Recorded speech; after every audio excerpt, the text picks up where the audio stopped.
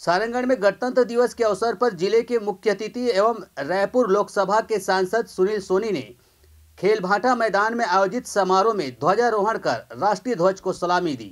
मुख्य अतिथि सुनील सोनी ने कलेक्टर के एल चौहान और एसपी आशुतोष सिंह के साथ परेड का निरीक्षण किया और जनता का अभिवादन किया। इस अवसर पर पुलिस, एनसीसी, स्काउट, एनएसएस आदि के टुकड़ियों द्वारा परेड कर मुख्य अतिथि को सलामी दी गई। साथ ही शहीद के परिवारों को साल ओढ़ाकर श्रीफल भेंट किया गया।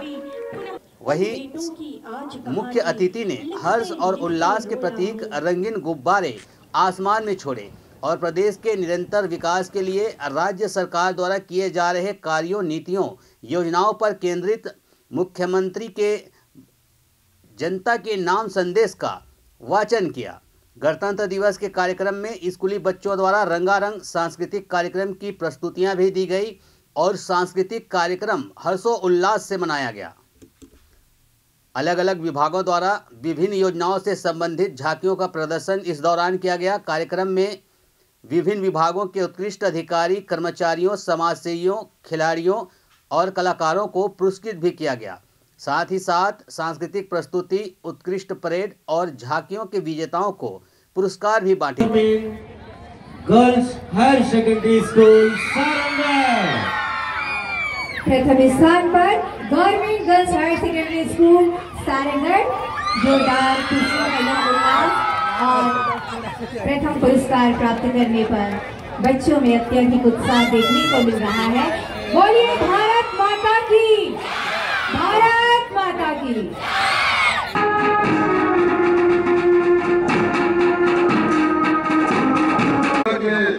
सिर पर छत देने का लक्ष्य पूरा करने का यो- योगदान देंगे।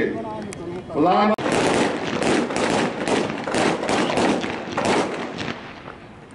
एक है, सभी का लक्ष्य एक है, भारत को सबसे आगे रखना विश्व गुरु की पदवी पुनः प्राप्त करना।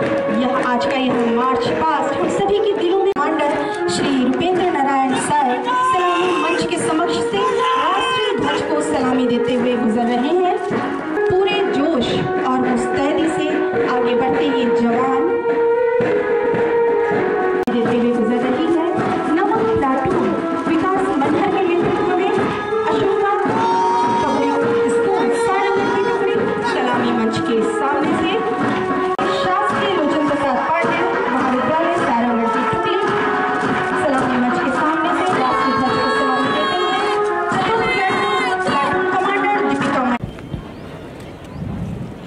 हर्ष, उल्लास और स्वतंत्रता के प्रति के गुब्बारे उड़ चुके हैं। स्वतंत्र आकाश में, मानो ये संदेश दे रहे हैं कि हम आज़ाद हैं।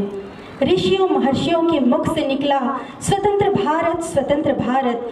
सचेत होकर सुना हमने, स्वतंत्र भारत स्वतंत्र भारत। कुमारी, हिमगिरी, अटक कटक में बजेगा डंका। स्वतंत्रता का कहेंगे 140 करोड़ मिलकर, स्वतंत्र भारत स्वतंत्र भारत। स्वतंत्र आकाश में स्वच्छंदता से उड़कर बिखरते।